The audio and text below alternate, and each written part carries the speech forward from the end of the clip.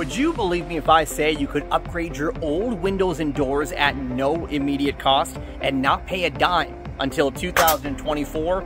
Well, you better believe it. I'm at a local Centra Windows installation site where they're upgrading this home with high performance windows and doors just in time for that cold winter season.